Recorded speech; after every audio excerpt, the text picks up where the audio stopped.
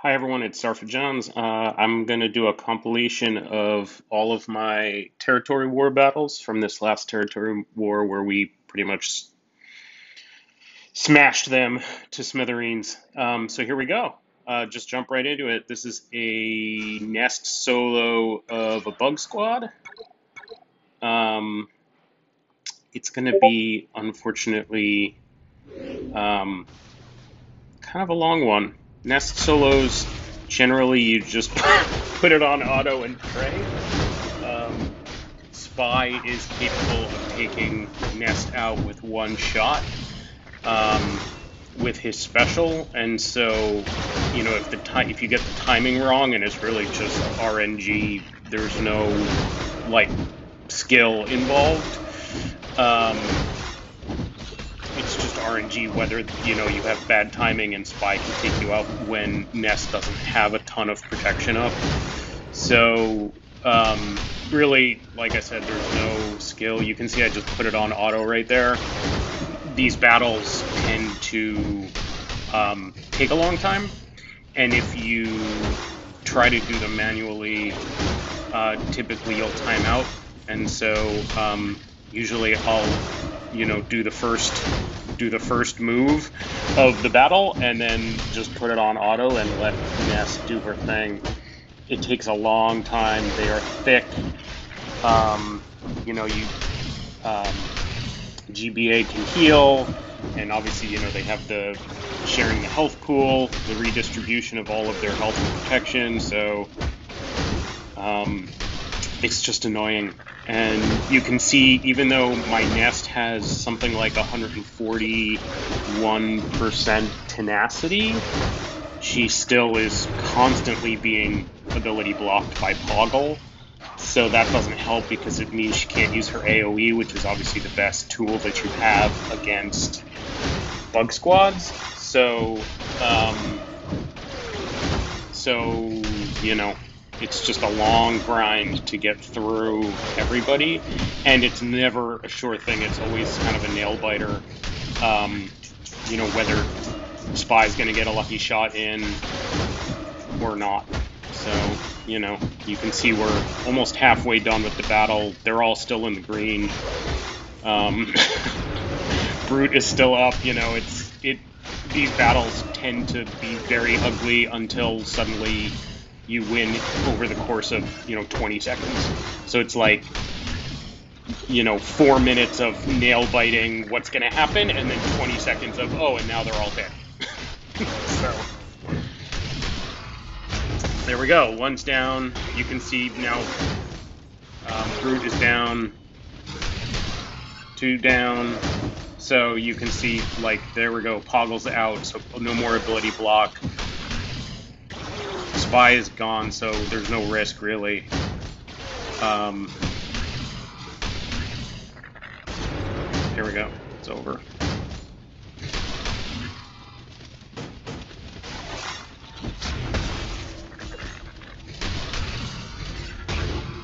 All right. There it was. So it took four minutes or something like that. So that's the first one. Uh, next, we have OG Kylo solo of Old Republic. Oops, sorry about that. All right. So um, these are also kind of um, nerve wracking because OG Kylo ends up taking tons of damage, and you're like, oh man, is he going to survive? What's going on? But, um, you know, he sticks it out in the end he gets he boosted offense and defense whenever he takes damage until the beginning until the uh, his next turn. Um, and with all of the dots on him, you know you can see he's already like down out of full health and no more protection. Um, and I haven't killed anybody. They're all still in the green, so it's like, oh no, are we gonna win? But then, you know, with the boosted offense, he just ends up one-shotting everyone once you get through Zaalbar, who tends to be very thick. There we go. So Zaalbar's gone, so now we're just gonna start, you know, killing people. I had a blind up, so when when um, mission blinds me, I tend to use his AOE because um, whatever else, you know, whatever I do is going to miss anyway, and the AoE at least feeds a little turn meter, so um, I get something from it. You can see now it went from being what's going to happen to uh, pretty much they're all dead at this point. So, yeah, once mission's gone, there's no there's no real damage dealers left, so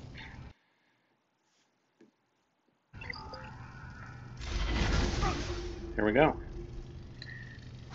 All right.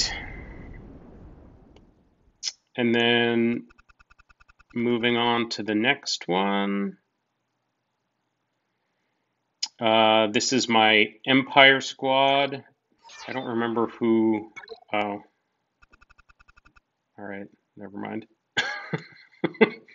Let me delete that video. All right. All right, here we go. Bounty hunters. Um, so this is my bounty hunter attack squad against a relic Bossk. Um, bounty hunter squad, and you can see I have four bounty hunters who all start in stealth, and then I bring Stormtrooper Han, and so he ends up being the tank. And typically he'll die. I think he actually survives this one. Um, but typically he'll die, but it doesn't matter as long as I stay in stealth long enough to trigger the contract, which you can see, I think I'm at 90% already. Yeah, 90%, so I'm about to trigger it right now. All right, so the contract is triggered, so now it's all downhill from them, you know.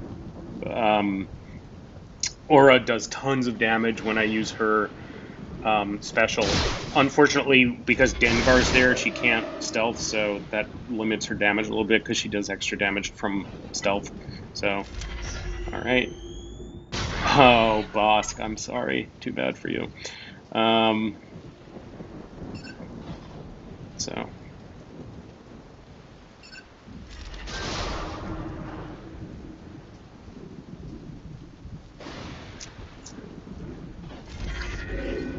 Yeah, that was Dengar messing up her special there. But anyway. And you can see with Greef adding retribution to everybody, they just go to town whenever they get attacked and typically will kill somebody after that, so, or because of that, so. Um,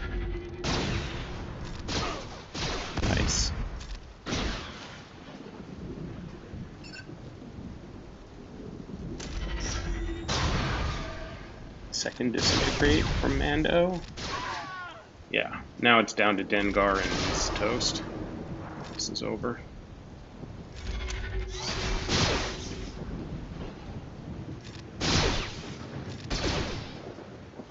Stormtrooper Han shockingly is still alive. There we go. And you can see here which squad I attacked, I think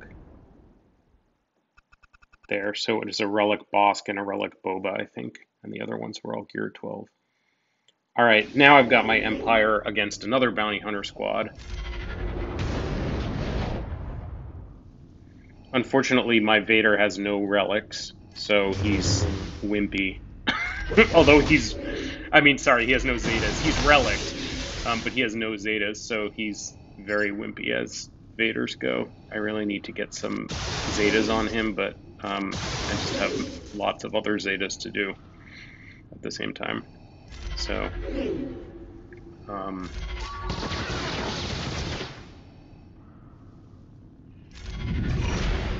this team, if I remember correctly, this Bossk was really slow. So he actually never really gets a taunt up between Fracture and Fracture from Thrawn and Help Stuns you know, he just never got a taunt up, and then we just go through and, you know, pick off the whole team, basically.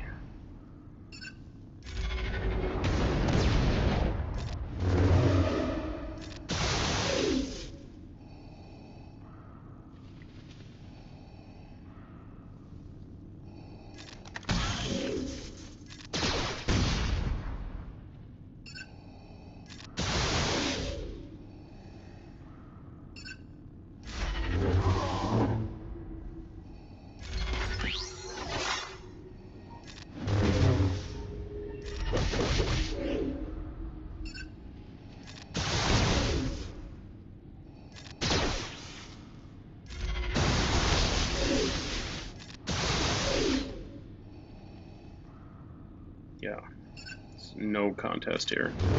I think this was a full. I can't remember if it was a full relic. No, that guy's geared 12, so it wasn't full relic. It was pretty close, I think. It was the highest level bounty hunter squad that was left by the time I, you know, decided to take these guys in.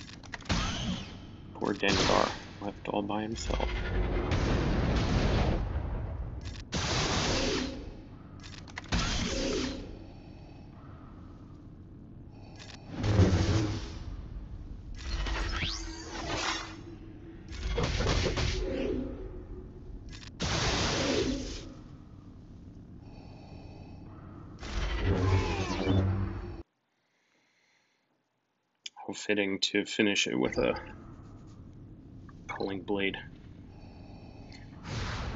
There we go, 20 banners. Uh, no, I guess it was just one relic Bossk. Alright. Um, another bounty. I went to town on the bounty hunters apparently. Um, so you can see I'm using like a weird Seppi Night Sister squad. Daka actually does tons of work here, reviving people a bunch. This actually this team worked very well, um, surprisingly well. So um, I may keep it in mind for the future. I think Asajj is only like gear nine or something, so you can see she doesn't really have very much health or protection. So. Um,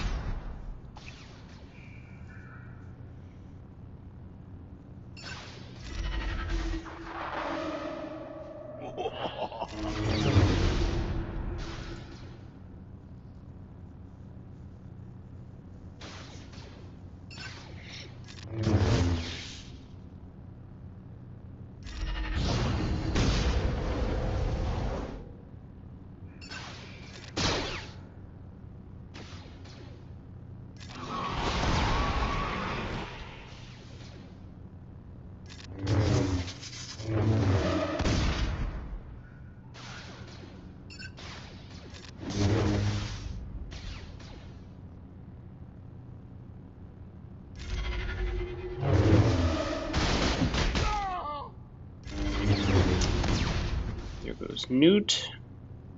I think I try to revive him here. Do I? Me reading the. you can tell how frequently I use Night Sisters. Um, reading her kit in the middle of a battle.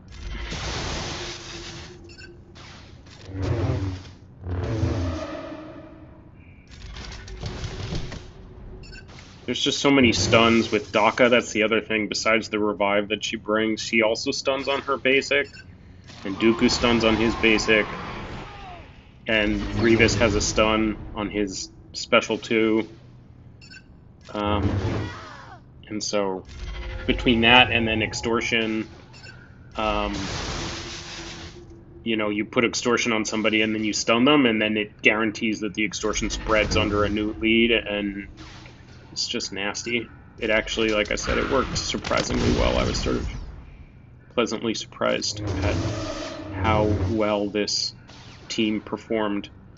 Um, Grievous is the only one that's relicked in this whole squad. Um, Dooku's gear 12, Nute is gear 12. Um, Asajj, like I said, is gear 9, and Daka is, I forget, either gear 11 or gear 12. Um, maybe this was the full relic bounty hunters. Yeah, Embo's relic, definitely.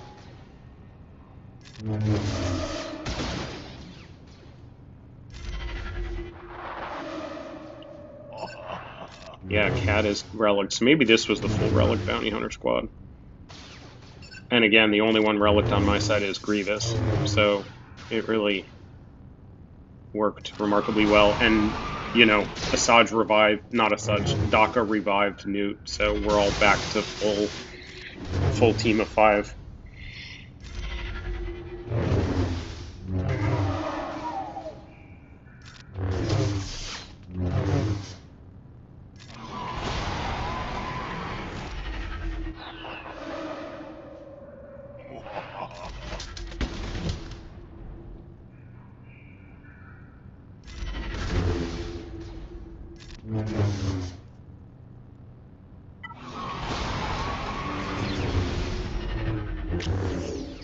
Dengar was very thick.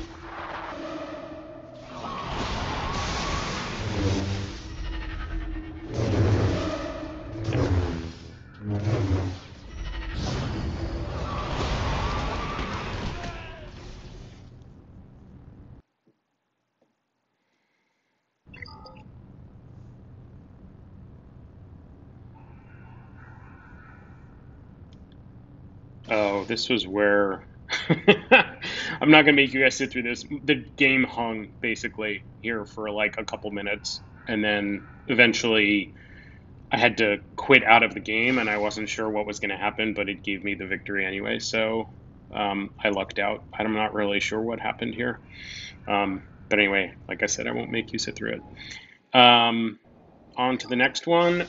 My murder bears. Um, I used to clean up a Basti Jedi squad. I actually, um, I'm not sure if you will want us to do this either, but um, I actually, what I end up doing here is just killing off Bastila and then letting it time out so that Jolee doesn't revive her. And that way, the next person coming in to clean it up, um, Bastila's not there, so there's no leader ability, um, so they don't get the bonus protection and they don't get the damage and you know all of that stuff that she brings, the tenacity that she brings with her leader ability. Um, so it's actually like a like you know as far as I'm concerned, it was a good use of my Ewoks because they're not really going to do much work anyway. But if I could use them to take out Bastila um, and make you know the next person's job that much easier um, then uh, it's it's you know it's a team well spent. You can see me like reading the kits here because I've never used Ewoks before, so I have no idea what any of these abilities do. Um, so apologies in advance that it's slow and annoying to watch. Um, but um, anyway, so you can see I, for a while I was focusing on um, Juhani because she had um, taunt, but now she's under stealth, so now I can get at Bastila. Um, and you know, there's not reading the kit again. Um, so, uh, you know, they all do no damage individually. I also don't have Chief Chief Chirpa Zeta on these guys yet, so they're not automatically assisting each other all the time, which is what his Zeta would let them do. And so it's really like slow going. It's like chipping away, you know, a couple thousand at a time. Um, I'm actually surprised, frankly, that I was able to kill her, but um, I made it. So feel free to jump ahead if you don't want to watch um, how slow this is. Um, and I won't obviously I'll I'll stop once she's dead and I'm letting it time out. I won't um, just make you guys sit through the the clock running down.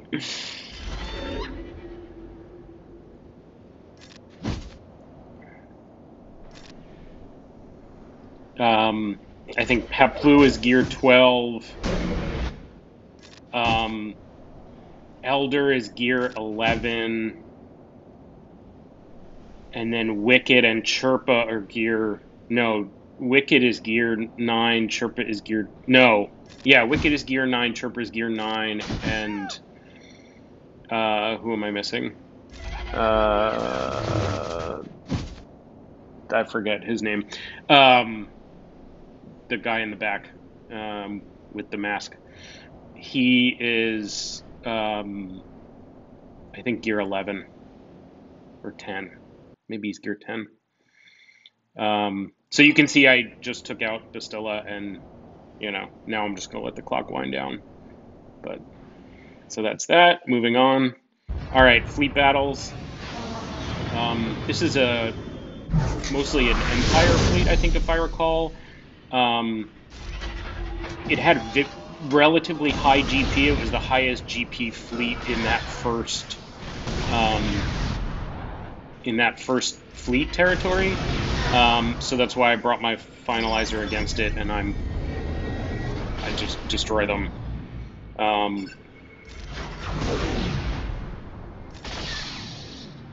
yeah, finalizer is against like any fleet other than malevolence or um, malevolence or negotiator. You know, finalizer pretty much just destroys them. I have had small amount of difficulty with a rebel fleet if I can't immediately stun Millennium Falcon, which normally I can do with crew, and I get two chances at it because of crew and Special Forces TIE Fighter, um, which grants an assist, so I can have crew assist. So crew gets one shot at it, and if he doesn't stun, then Special Forces TIE Fighter gets a second shot at it. But if I don't, if I miss both stuns, then rebel fleets typically will cause me some problems, but it's very rare. 161,000 crit. I mean, it's just easy. So, um, next fleet battle. I managed to win three fleet battles this time, which is a first for me because my all my fleets except my finalizer fleet just suck. So I'm sort of shocked that um, I was able to beat anything except the first one. Um, so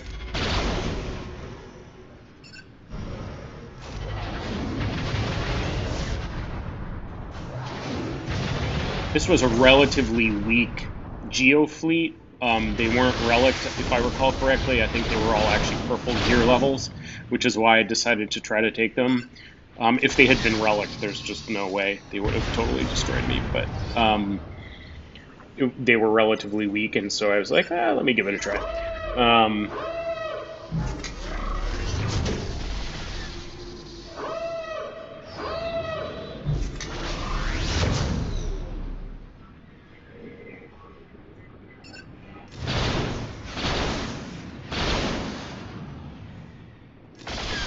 So you can see me not hitting Sun Fac as much as possible. Um, because he had the breach on him, which is what enables the ta- um, Houndstooth to keep taunt up longer. Um, so generally speaking, just good tip for Houndstooth. You want to use Houndstooth special, um, taunting special on the ship that you think you're going to kill last. Um, and then that way, if you get the breach, the breach sticks around for as long as possible, and then Houndstooth can keep the taunt up as long as possible. Um, all right, next one. Um, my crappy light side fleet. Again, it's against sort of an underpowered um, dark side fleet. I guess no sound on this one. Sorry, guys. Um, I did a better job this time of um, giving you all game sound, but not not for this one. Um,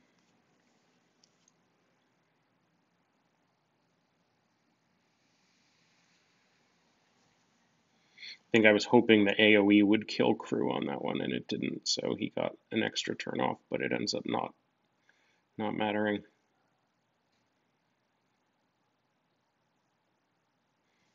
And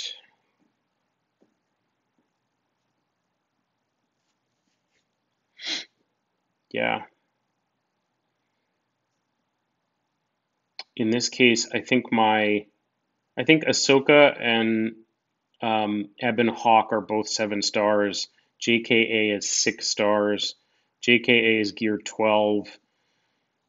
Ahsoka is gear 11, I think. Um, this is a really, really weak boss because I'm like cutting even with the Houndstooth protection up. I'm still cutting it through his health with my ships.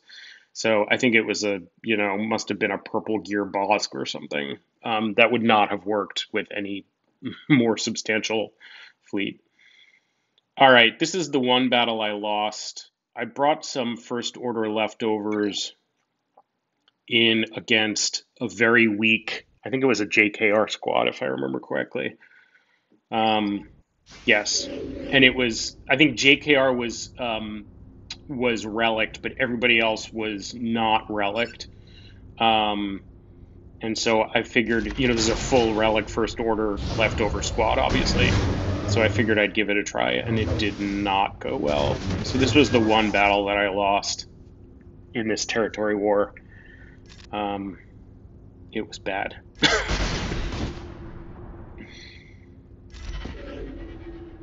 so I managed to kill Yoda, so that triggered Savior right there. So I killed Yoda once, and now, you know, I'm going to try to go for a Jolee. Um, but I'm not going to get anywhere close to killing him. Um, you know, right about here, I'm like, yeah, this is not going so well.